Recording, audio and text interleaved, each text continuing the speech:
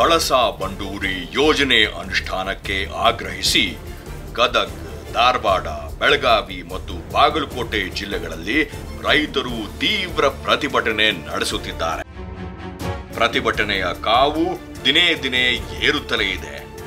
ಇದು ಬೆಂಕಿಯ ಸ್ವರೂಪ ಪಡೆಯುವ ಮೊದಲು ನಮ್ಮ ಸರ್ಕಾರಗಳು ಎಚ್ಚೆತ್ತುಕೊಳ್ಳಬೇಕಾಗಿದೆ ಮತ್ತು ಈ ಯೋಜನೆಯ ಅನುಷ್ಠಾನಕ್ಕೆ ಒದಗಿರುವ ಅಡೆತಡೆಗಳನ್ನು ನಿವಾರಿಸಬೇಕಾಗಿದೆ. ಈ ಸಂದರ್ಭದಲ್ಲಿ ಈ ಕಳಸ ಬಂಡೂರಿ ಅಥವಾ ಮಹಾದಾಯಿ ಯೋಜನೆ ಅಂದ್ರೆ ಏನು? ಅದು ಯಾವ ಕಾರಣಕ್ಕಾಗಿ ಕರ್ನಾಟಕ ರಾಜ್ಯಕ್ಕೆ ಮತ್ತು ರೈತರಿಗೆ ಮಹತ್ವದ್ದಾಗಿದೆ? ಈ ಯೋಜನೆ ನೆನೆಗುದಿಗೆ ಬೀಳಲು ಕಾರಣಗಳೇನು ಅನ್ನುವ ಎಲ್ಲ ವಿಚಾರಗಳ ಬಗ್ಗೆ ನಿಮಗಾಗಿ ಸವಿಸ್ತಾರ ವರದಿ. ನಮ್ಮ ದೇಶದ ರಾಜಕಾರಣಿಗಳಿಗೆ ನೀರಾವರಿ ಯೋಜನೆಗಳಿಗೆ ಅಡಿಗಲ್ಲು ಹಾಕೋದು ಮತ್ತು ಆ ಅಡಿಗಲಿನಲ್ಲಿ ತಮ್ಮ ಹೆಸರು ಕೆತ್ತಲ್ಪಟ್ಟಿರೋದನ್ನು ಕಂಡು ಖುಷಿಯಿಂದ ಪೋಸ್ ಕೊಡುತ್ತಾ ಫೋಟೋ ತೆಗೆಸ್ಕೊಳ್ಳೋದು ಮಾತ್ರ ಚೆನ್ನಾಗಿ ಗೊತ್ತು. ಆದ್ರೆ ದಶಕಗಳೇ ಕಳೆದ್ರೂ ಆ ಯೋಜನೆಗಳು ಮುಗಿಯೋದೇ ಇಲ್ಲ. ಅದೇ ಯೋಜನೆಗೆ ಮತ್ತೂ ಹಲವರು ರಾಜಕಾರಣಿಗಳು ಶಂಕುಸ್ಥಾಪನೆ ಮಾಡುವುದೂ ನಡೆಯುತ್ತದೆ.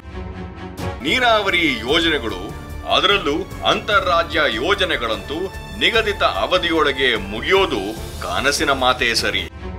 ಅಂಥದ್ದೊಂದು ಕನಸಿನ ಯೋಜನೆಯ ಸಾಲಿಗೆ ಮತ್ತೊಂದು ಸೇರ್ಪಡೆ, ಕಳಸ ಬಂಡೂರಿ ನಾಲಾ ಜೋಡಣೆ ಯೋಜನೆ.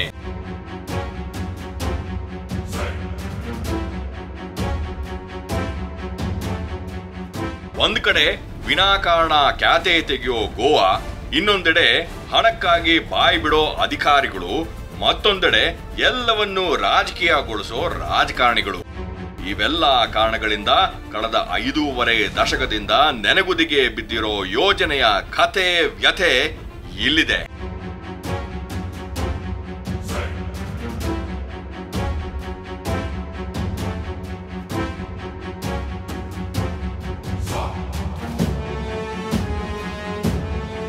ಧಾರವಾಡ, ಬೆಳಗಾವಿ, ಗದಗ್ ಹಾಗೂ ಬಾಗಲಕೋಟೆ ಜಿಲ್ಲೆಯ ಒಟ್ಟು ಹದಿಮೂರು ತಾಲೂಕುಗಳ ಜನರ ಪಾಲಿಗೆ ಕಳಸ ಬಂಡೂರಿ ನಾಲೆ ಜೋಡಣೆ ಯೋಜನೆ ಅನ್ನೋದು ಒಂದು ಮಹತ್ವಾಕಾಂಕ್ಷಿ ಯೋಜನೆ. ಬೆಳಗಾವಿ ಜಿಲ್ಲೆ ಖಾನಾಪುರ ತಾಲೂಕಿನ ಕಣಕುಂಬಿ ಗ್ರಾಮದ ಮಾವೋಲಿ ಅನ್ನೋ ಪ್ರದೇಶದಲ್ಲಿ ಹುಟ್ಟೋ ಮಲಪ್ರಭಾ ನದಿ ಈ ಭಾಗದ ಜನರ ಪಾಲಿನ ಸಂಜೀವಿನಿ. ದೊಡ್ಡ ಕಣಿವೆ ಮಧ್ಯದಲ್ಲಿ ಹುಟ್ಟೋ ಮಲಪ್ರಭೆ ಪಶ್ಚಿಮಾಭಿಮುಖವಾಗಿ ಹರಿದು ಬರುತ್ತೆ. ಹೀಗೆ ಹರಿದು ಬರೋ ನದಿಗೆ ಬೆಳಗಾವಿ ಜಿಲ್ಲೆ ಸವದತ್ತಿ ಬಳಿಯ ನವಿಲು ತೀರ್ಥ ಅನ್ನೋ ಪ್ರದೇಶದಲ್ಲಿ ಅಣೆಕಟ್ಟು ನಿರ್ಮಿಸಲಾಗಿದೆ. ಸುಮಾರು ಮೂವತ್ತೇಳು ಟಿಎಂಸಿ ನೀರು ಸಂಗ್ರಹ ಸಾಮರ್ಥ್ಯ ಹೊಂದಿರೋ ಈ ಡ್ಯಾಂನಿಂದ ಒಟ್ಟು ಮೂರು ನಾಲೆಗಳ ಮೂಲಕ ರೈತರ ಜಮೀನಿಗೆ ನೀರು ಹರಿಸಲಾಗುತ್ತೆ. ಸಾವಿರದ ಒಂಬೈನೂರ ಅರವತ್ತೆರಡರಲ್ಲಿ ಆರಂಭವಾದ ಈ ಅಣೆಕಟ್ಟು ನಿರ್ಮಾಣ ಸಾವಿರದ ಒಂಬೈನೂರ ಎಪ್ಪತ್ತೆರಡರಲ್ಲಿ ಮುಗಿಯಿತು ಆವತ್ತಿನಿಂದ ಈ ಡ್ಯಾಂನಲ್ಲಿ ನೀರು ಸಂಗ್ರಹ ಶುರುವಾಗಿ ಬೆಳಗಾವಿ ಜಿಲ್ಲೆಯ ಕೆಲವು ಮತ್ತು ಧಾರವಾಡ ಜಿಲ್ಲೆಯ ಕೆಲವು ತಾಲೂಕುಗಳ ಭೂಮಿಗೆ ನೀರು ಸಿಗುವಂತಾಯಿತು. ಆದರೆ ದಿನಗಳದಂತೆ ಮಳೆ ಪ್ರಮಾಣ ಕಡಿಮೆಯಾಗಿ ರೈತರ ಜಮೀನುಗಳಿಗೆ ಹರಿಯೋ ನೀರಿನ ಪ್ರಮಾಣವು ಕಡಿಮೆಯಾಗತೊಡಗಿತು. ಇದೇ ವೇಳೆ ಹುಬ್ಬಳ್ಳಿ ಧಾರವಾಡದಂತಹ ನಗರಗಳಿಗೆ ಡ್ಯಾಂನ ಹಿನ್ನೀರಿನಿಂದ ಕುಡಿಯೋ ನೀರನ್ನ ಪಡೆಯೋದು ಶುರುವಾದಾಗಿನಿಂದ ರೈತರಿಗೆ ನೀರಿನ ಕೊರತೆ ಮತ್ತಷ್ಟು ಹೆಚ್ಚಾಯಿತು. ಅಲ್ಲದೆ ಈ ಯೋಜನೆಯ ಮೂಲ ರೂಪವೇ ಬೇರೆಯಾಗಿತ್ತು. ಈ ಅಣೆಕಟ್ಟು ನಿರ್ಮಾಣಕ್ಕಿಂತಲೂ ಮೊದಲೇ ಈ ಪ್ರದೇಶದ ಹಳ್ಳಗಳನ್ನು ಪರಸ್ಪರ ಸಂಪರ್ಕಿಸಿ ಅವುಗಳನ್ನ ಮಲಪ್ರಭಾ ನದಿಗೆ ಜೋಡಿಸುವ ಮೂಲಕ ಅದಾಗಲೇ ಕಟ್ಟಲು ಉದ್ದೇಶಿಸಿದ್ದ ಡ್ಯಾಂಗೆ ಮತ್ತಷ್ಟು ನೀರು ಸಂಗ್ರಹವಾಗಲಿ ಅನ್ನೋ ಯೋಚನೆ ಇತ್ತು. ಸಾವಿರದ ಒಂಬೈನೂರ ಅರವತ್ತರ ಅಕ್ಟೋಬರ್ ಎರಡರಂದು ಹಳ್ಳಗಳನ್ನ ಜೋಡಿಸೋ ಕಾಮಗಾರಿ ಉದ್ಘಾಟನೆಯೂ ಆಯಿತು. ಅದಕ್ಕೆ ಮಹಾದಾಯಿ ಕಣಿವೆ ತಿರುವು ಯೋಜನೆ ಅಂತ ನಾಮಕರಣವನ್ನು ಮಾಡಲಾಯಿತು. ಮಹದಾಯಿ ಕಣಿವೆಗಳ ಮಧ್ಯೆಯೇ ಈ ಎಲ್ಲಾ ಹಳ್ಳಗಳು ಹರಿಯೋದ್ರಿಂದ ಈ ರೀತಿ ಹೆಸರಿಡಲಾಗಿತ್ತು. ಮಹಾದಾಯಿ ಕಣಿವೆಯಲ್ಲಿನ ಅನೇಕ ಸಣ್ಣ ಸಣ್ಣ ಹಳ್ಳಗಳನ್ನು ಮಲಪ್ರಭೆಗೆ ಜೋಡಿಸುವ ಮೂಲಕ ಸುಮ್ಮನೆ ಹರಿದು ಸಮುದ್ರದ ಪಾಲಾಗೋ ನೀರನ್ನು ಸದುಪಯೋಗ ಮಾಡಿಕೊಳ್ಳಬಹುದೆಂಬ ಯೋಚನೆಯೇ ಇದರ ಹಿಂದೆ ಇರೋ ಮೂಲ ಉದ್ದೇಶ. ಈ ಕಣಿವೆಯಲ್ಲಿನ ಹಳ್ಳಗಳ ವಿಶಿಷ್ಟತೆ ಏನು ಅಂದ್ರೆ ರಾಜ್ಯದಲ್ಲಿ ಮುಂಗಾರು ಶುರುವಾಗುತ್ತಿದ್ದಂತೆಯೇ ಈ ಹಳ್ಳಗಳಲ್ಲಿ ನೀರು ಜಿನುಗಲು ಪ್ರಾರಂಭವಾಗಿ ಬಿಡುತ್ತೆ ಮಳೆ ಬರಲಿ ಬಿಡಲಿ ಈ ಹಳ್ಳಗಳಲ್ಲಿ ಬರೋ ನೀರಿನ ಪ್ರಮಾಣ ಕಡಿಮೆಯಾಗೋದೇ ಇಲ್ಲ. ಹನಿ ಹನಿ ಸೇರಿದ್ರೆ ಹಳ್ಳ ಅನ್ನೋ ಗಾದೆ ಮಾತಿನ ರೀತಿ ಹಳ್ಳ ಹಳ್ಳ ಸೇರಿದ್ರೆ ನದಿ ಅನ್ನೋ ಹೊಸ ಗಾದೆ ಹುಟ್ಟು ಹಾಕಿದ ಇಲ್ಲಿನ ರೈತರು ಹಾಗೂ ರೈತ ಮುಖಂಡರು ಈ ಪ್ರದೇಶದಲ್ಲಿ ಹರಿಯೋ ಕಳಸ, ಬಂಡೂರಿ, ಹಳತಾರ್, ಗುರ್ಕಿ, ಚುರ್ಲ ಹಾಗೆ ಪೋಟ್ಲಾ ಅನ್ನೋ ಆರು ಹಳ್ಳಗಳನ್ನ ಮಲಪ್ರಭೆಗೆ ಜೋಡಿಸಿದ್ರೆ ನವಿಲು ತೀರ್ಥ ಜಲಾಶಯದಲ್ಲಿ ಸಂಗ್ರಹವಾಗೋ ನೀರಿನ ಪ್ರಮಾಣ ಹೆಚ್ಚಾಗುತ್ತೆ. ಆ ಮೂಲಕ ಅದಾಗಲೇ ನೀರಿನ ಬವಣೆ ಅನುಭವಿಸುತ್ತಿರೋ ರೈತರು ಹಾಗೂ ನಾಲ್ಕು ಜಿಲ್ಲೆಗಳ ನಗರ ಪಟ್ಟಣಗಳ ಜನರಿಗೆ ವರದಾನ ಆಗುತ್ತೆ ಅಂತ ಯೋಚನೆ ಮಾಡಿದ್ರು. ಇದೇ ವೇಳೆ ಆಗಿನ ಸರ್ಕಾರವು ಈ ಹಳ್ಳಗಳ ಜೋಡಣೆಗೆ ಹಸಿರು ನಿಶಾನೆ ತೋರಿ ಕಾಮಗಾರಿ ಉದ್ಘಾಟನೆಯನ್ನೂ ಮಾಡಿಬಿಟ್ಟಿತ್ತು. ಆದರೆ ಉದ್ಘಾಟನೆ ಮಾಡಿದ್ದೊಂದೇ ಬಂತು. ಆವತ್ತಿನಿಂದಲೇ ಈ ಕಾಮಗಾರಿಗೆ ಶನಿ ಕಾಟ ಶುರುವಾಗಿ ಬಿಟ್ಟಿತ್ತು ಮಹದಾಯಿ ಕಣಿವೆ ತಿರುವು ಯೋಜನೆ ಅಂತ ಹೆಸರು ಇಟ್ಟಿದ್ದರಿಂದ ಗೋವಾ ಸರ್ಕಾರ ಈ ಕಾಮಗಾರಿ ವಿರುದ್ಧ ಖ್ಯಾತೆ ತೆಗೆಯೋಕೆ ಶುರು ಮಾಡಿಕೊಂಡಿತ್ತು. ಏಕೆಂದ್ರೆ ನಮ್ಮ ಬೆಳಗಾವಿ ಜಿಲ್ಲೆ ಖಾನಾಪುರ ತಾಲೂಕಿನ ದೇವಗಾವಡು ಗ್ರಾಮದ ಬಳಿ ಹುಟ್ಟೋ ಈ ಮಹಾದಾಯಿ ನದಿ ರಾಜ್ಯದಲ್ಲಿ ಮೂವತ್ತೈದು ಕಿಲೋಮೀಟರ್ ಹರಿಯುತ್ತೆ. ಅಲ್ಲಿಂದ ಮುಂದಕ್ಕೆ ಸುರಗ ಅನ್ನೋ ಪ್ರದೇಶದಲ್ಲಿ ಗೋವಾ ಪ್ರವೇಶ ಮಾಡಿ ಅಲ್ಲಿ ಮಾಂಡವಿ ಅಥವಾ ಮಾಂಡೋವಿ ಅನ್ನೋ ಹೆಸರು ಪಡೆಯುತ್ತೆ. ಗೋವಾದಲ್ಲಿ ಸುಮಾರು ನಲವತ್ತೈದು ಕಿಲೋಮೀಟರ್ ಹರಿಯುತ್ತೆ. ಸುಮಾರು ಐವತ್ತೇಳು ಟಿಎಂಸಿ ನೀರನ್ನ ತನ್ನ ಒಡಲಲ್ಲಿ ಇಟ್ಕೊಳ್ಳೋ ಈ ಮಹದಾಯಿ ನದಿ ಸಮುದ್ರ ಮುಟ್ಟೋ ಹೊತ್ತಿಗೆ ಸುಮಾರು ಇನ್ನೂರ ಹತ್ತು ಟಿಎಂಸಿ ನೀರನ್ನ ಹೊಂದಿರೋ ನದಿಯಾಗಿರುತ್ತೆ. ಆದರೆ ಈ ಎಲ್ಲಾ ನೀರು ನೇರವಾಗಿ ಅರಬ್ಬಿ ಸಮುದ್ರ ಸೇರಿ ನಷ್ಟವಾಗಿ ಹೋಗುತ್ತೆ. ಈ ಎಲ್ಲ ಹಳ್ಳುಗಳು ಮಹದಾಯಿ ನದಿಗೆ ಹೋಗಿ ಸೇರಿ ಕೊನೆಗೆ ಸಮುದ್ರದ ಪಾಲಾಗೋದನ್ನ ತಡೆಯೋದಕ್ಕೆ ನಮ್ಮ ರಾಜ್ಯ ಸರ್ಕಾರ ರೂಪಿಸಿದ್ದ ಯೋಜನೆ ಇದಾಗಿತ್ತು. ಇದರಿಂದ ಗೋವಾಕ್ಕೆ ಯಾವುದೇ ನಷ್ಟವಾಗದಿದ್ದರೂ ವಿನಾಕಾರಣ ಖ್ಯಾತೆ ತೆಗೆದು ಇದನ್ನ ತಾತ್ಕಾಲಿಕವಾಗಿ ತಡೆಯುವಲ್ಲಿ ಯಶಸ್ವಿಯೂ ಆಗಿತ್ತು. ಆಗ ಕಳಸ ಹಾಗೂ ಬಂಡೂರಿ ಎಂಬ ಎರಡು ಹೊಸ ಯೋಜನೆಗಳ ಮೂಲಕ ರಾಜ್ಯ ಸರ್ಕಾರ ತನ್ನ ಪಾಲಿನ ನೀರನ್ನು ಪಡೆದುಕೊಳ್ಳೋದಕ್ಕೆ ಹೊಸ ಯೋಜನೆಗಳನ್ನ ರೂಪಿಸಿತ್ತು. ಕಳಸ, ಹಳತಾರ್ ಹಾಗೂ ಪೋಟ್ಲ ಹಳ್ಳಗಳನ್ನ ಮಾವೋಲಿ ಬಳಿ ಮಲಪ್ರಭೆಗೆ ಸೇರಿಸಿದ್ರೆ ಸುಮಾರು ಐದು ಟಿಎಂಸಿ ನೀರು ನವಿಲು ತೀರ್ಥ ಅಥವಾ ಇಂದಿರಾ ಜಲಾಶಯಕ್ಕೆ ಬಂದು ಸೇರುತ್ತೆ. ಇದೇ ರೀತಿ ಬಂಡೂರಿ ಗುರ್ಕಿ ಹಾಗೂ ಚುರ್ಲಾ ಹಳ್ಳಗಳನ್ನ ಜೋಡಿಸುವ ಮೂಲಕ ಎಂಟು ಟಿಎಂಸಿ ನೀರನ್ನ ಈ ಡ್ಯಾಂಗೆ ಹರಿಸಬಹುದು. ಇಂಥ ಲೆಕ್ಕಾಚಾರವೇನೋ ಸಿದ್ಧವಾಯಿತು, ಆದ್ರೆ ಅದು ಕಾರ್ಯರೂಪಕ್ಕೆ ಮಾತ್ರ ಬರಲಿಲ್ಲ. ಇದೇ ಯೋಜನೆ ವೇಳೆ ರೂಪಿಸಲಾಗಿದ್ದ ನವಿಲು ತೀರ್ಥ ಜಲಾಶಯ ನಿರ್ಮಾಣ ಹತ್ತೇ ವರ್ಷಗಳಲ್ಲಿ ಮುಗಿದು ಸುಮಾರು ಮೂವತ್ತೇಳು ಪಾಯಿಂಟ್ ಏಳು ಮೂರು ಟಿಎಂಸಿ ನೀರು ಶೇಖರಣೆ ಆಗತೊಡಗಿತು. ಆದರೆ ಜೊತೆಯಲ್ಲೇ ಶುರುವಾಗಿದ್ದ ಈ ಯೋಜನೆಗಳು ಕಾಗದದಲ್ಲೇ ಉಳಿದು ಬಿಟ್ಟವು ಇದೇ ವೇಳೆ ಈ ಜಲಾಶಯದ ಹಿನ್ನೀರಿನಿಂದ ಹುಬ್ಬಳ್ಳಿ, ಧಾರವಾಡ ಅವಳಿ ನಗರಗಳಿಗೆ ಕುಡಿಯೋ ನೀರಿನ ಪೂರೈಕೆ ಶುರುವಾಯಿತು. ಅದೇ ರೀತಿ ಬೇರೆ ಬೇರೆ ನಗರ ಪಟ್ಟಣಗಳಿಗೂ ನೀರು ಸರಬರಾಜು ಶುರುವಾದಾಗ ಸಹಜವಾಗಿ ಜಲಾಶಯದಲ್ಲಿನ ನೀರಿನ ಮಟ್ಟ ಕಡಿಮೆಯಾಗತೊಡಗಿತು. ಇದರಿಂದಾಗಿ ರೈತರು ಸಂಕಷ್ಟಕ್ಕೆ ಒಳಗಾದರು. ದಿನಗಳು ಕಳೆದಂತೆ ನಗರಗಳಿಗೆ ಪೂರೈಕೆಯಾಗೋ ನೀರಿನ ಪ್ರಮಾಣನೂ ಹೆಚ್ಚಾಯಿತು. ಆಗ ಮತ್ತೆ ರೈತರು ಹೋರಾಟಕ್ಕಿಳಿಯಲೇಬೇಕಾಯಿತು. ಆ ಸಮಯದಲ್ಲಿ ಮತ್ತೊಮ್ಮೆ ಚರ್ಚೆಗೆ ಬಂದಿದ್ದೇ ಕಳಸ, ಬಂಡೂರಿ, ನಾಲಾ ಜೋಡಣೆ ಕಾಮಗಾರಿ. ಈ ಕಾಮಗಾರಿ ಮುಕ್ತಾಯವಾದರೆ ಸುಮಾರು ಒಂಬತ್ತು ಟಿಎಂಸಿಯಷ್ಟು ಹೆಚ್ಚಿನ ನೀರು ಈ ಜಲಾಶಯದಲ್ಲಿ ಸಂಗ್ರಹವಾಗಲಿದೆ. ಇದೇನು ದೊಡ್ಡ ಯೋಜನೆಯೇ ಅಲ್ಲ. ಮೊದಲಿಗೆ ಕಳಸ ನಾಲಾ ಜೋಡಣೆಯನ್ನ ಮಾಡುವ ಮೂಲಕ ನಾಲ್ಕು ಜಿಲ್ಲೆಗಳ ಒಂಬತ್ತು ತಾಲೂಕುಗಳಿಗೆ ಕುಡಿಯೋ ನೀರು ಪೂರೈಕೆಗೆ ಹಾಗೂ ಲಕ್ಷಾಂತರ ಎಕರೆ ಭೂಮಿಗೆ ನೀರು ಕೊಡೋದಿಕ್ಕೆ ಸರ್ಕಾರವೇನೋ ಸಿದ್ಧ ಆಯಿತು.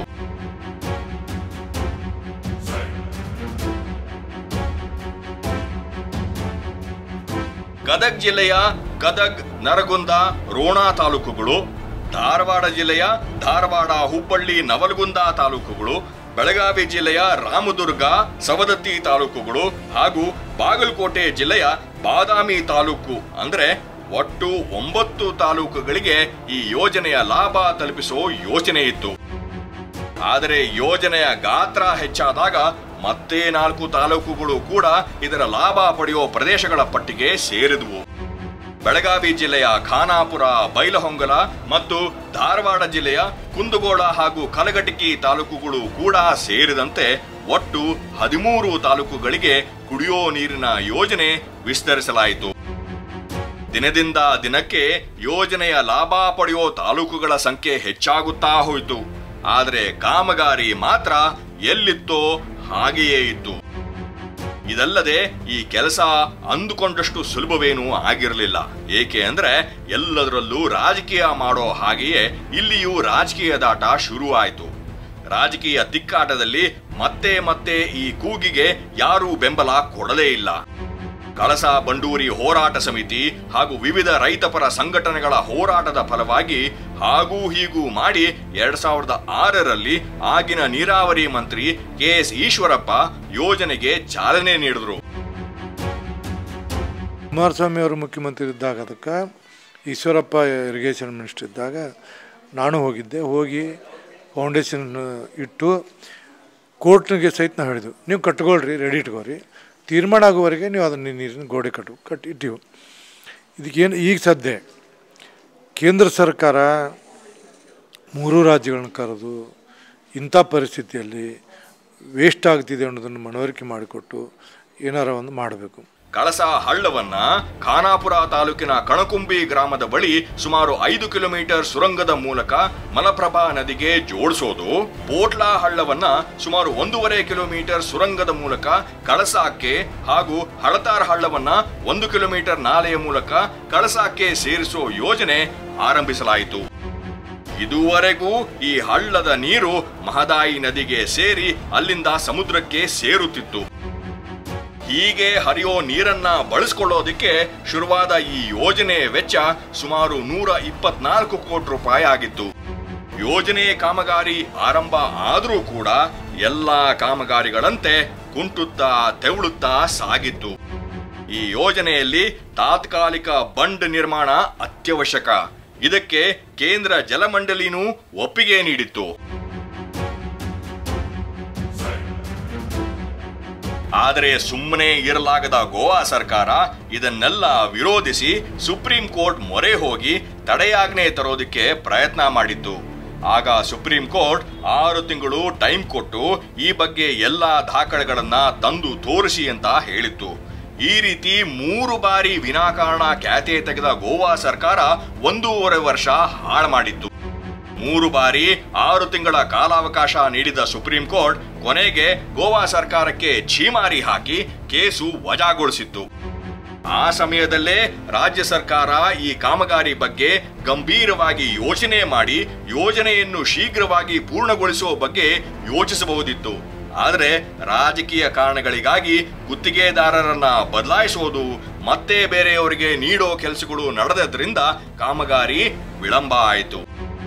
ಗುತ್ತಿಗೆದಾರರ ವಿಳಂಬ ನೀತಿ, ರಾಜ್ಯ ಸರ್ಕಾರದ ನಿರ್ಲಕ್ಷ್ಯ ಹಾಗೂ ಅಧಿಕಾರಿಗಳ ಬೇಜವಾಬ್ದಾರಿಯಿಂದಾಗಿ ಈ ಕಾಮಗಾರಿ ಎಲ್ಲಿ ಆರಂಭವಾಗಿತ್ತೋ ಅಲ್ಲೇ ಉಳಿದುಬಿಟ್ಟಿತು.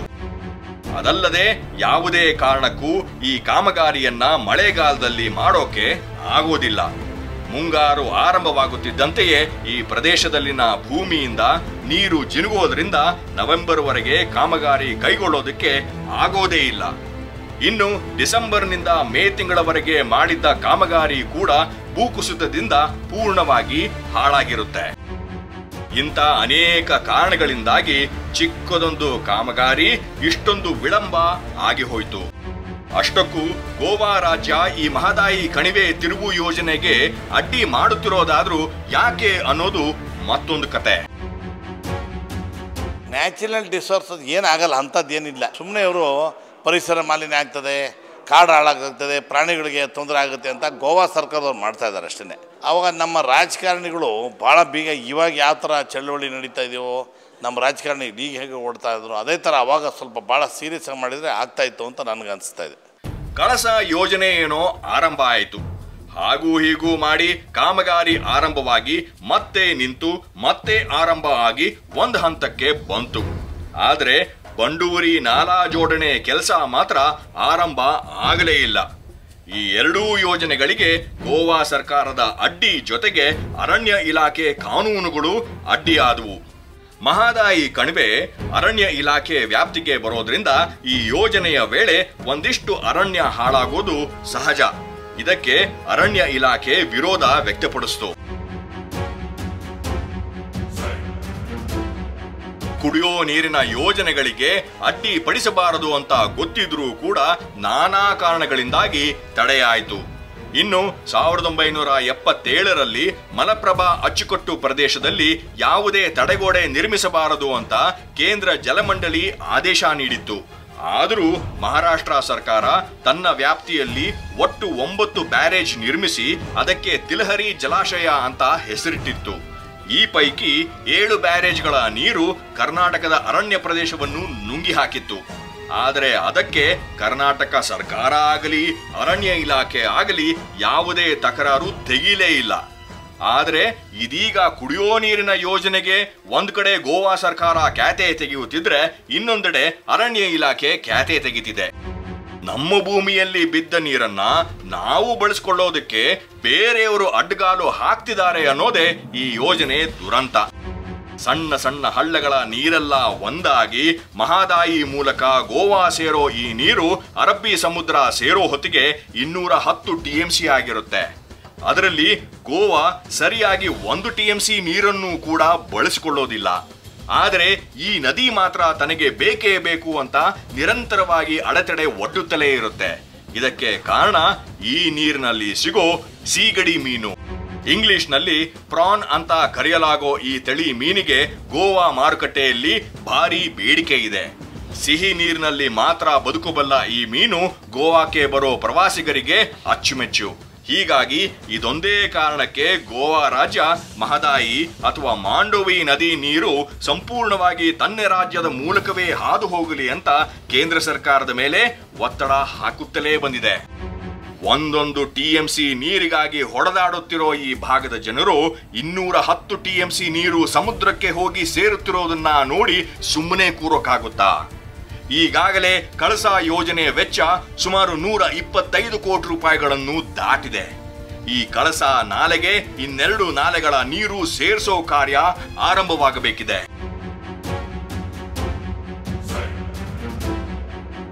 ಇನ್ನು ಬಂಡೂರಿ ನಾಲಾ ಜೋಡಣೆ ಯೋಜನೆಯು ನೂರಾರು ಕೋಟಿ ರೂಪಾಯಿ ದಾಟಲಿದೆ. ಅದಕ್ಕಾಗಿ ಇನ್ನು ಟೆಂಡರ್ ಕರೆದು ಕಾಮಗಾರಿ ಆರಂಭಿಸಬೇಕಾಗಿದೆ. ಕಾಮಗಾರಿ ಆರಂಭವಾದರಷ್ಟೇ ಸಾಲದು, ಅದು ಮುಗಿದು ಜನರ ಬಳಕೆಗೆ ಅನುಕೂಲವೂ ಆಗಬೇಕು.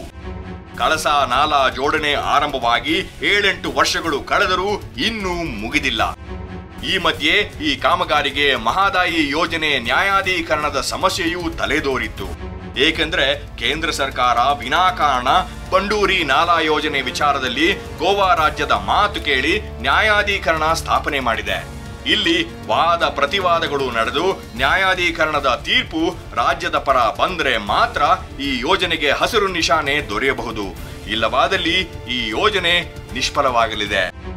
ಈ ಸಂದರ್ಭದಲ್ಲಿ ಕೇಂದ್ರದಲ್ಲಿ ಅಧಿಕಾರದಲ್ಲಿರುವ ಮೋದಿ ಸರ್ಕಾರದ ಪಾತ್ರ ಅತ್ಯಂತ ಮಹತ್ವದ್ದಾಗಿರುತ್ತದೆ.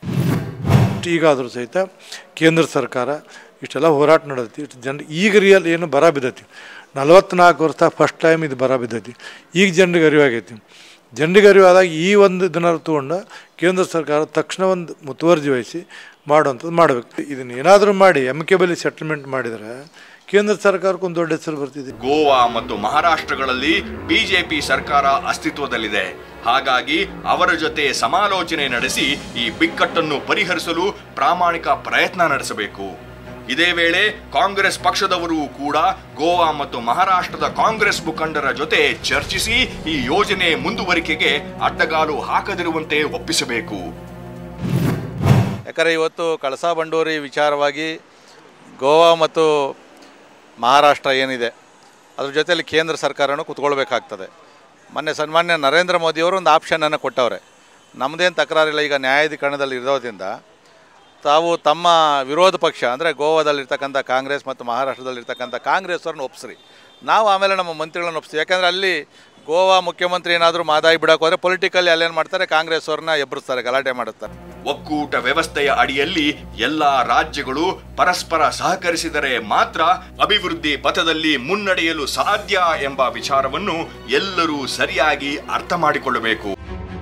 ಈ ನಡುವೆ ಮಹಾದಾಯಿ ನ್ಯಾಯ ಮಂಡಳಿಯನ್ನೇ ರದ್ದುಗೊಳಿಸುವಂತೆ ಸುಪ್ರೀಂ ಕೋರ್ಟ್ನಲ್ಲಿ ಸಾರ್ವಜನಿಕ ಹಿತಾಸಕ್ತಿ ಅರ್ಜಿ ಸಲ್ಲಿಸಲು ಬಾಗಲಕೋಟೆ, ಬೆಳಗಾವಿ, ಧಾರವಾಡ, ಗದಗ, ಹಾವೇರಿ ಹಾಗೂ ಕೊಪ್ಪಳ ಜಿಲ್ಲೆಗಳ ವಕೀಲರು ನಿರ್ಧರಿಸಿದ್ದಾರೆ. ಒಟ್ಟಿನಲ್ಲಿ ಈ ಸಮಸ್ಯೆಯನ್ನು ಶೀಘ್ರದಲ್ಲೇ ಬಗೆಹರಿಸದಿದ್ದರೆ ಇದು ದೊಡ್ಡ ಆಂದೋಲನವಾಗಿ ಬೆಳೆಯುವ ಎಲ್ಲಾ ಸಾಧ್ಯತೆಗಳಿವೆ.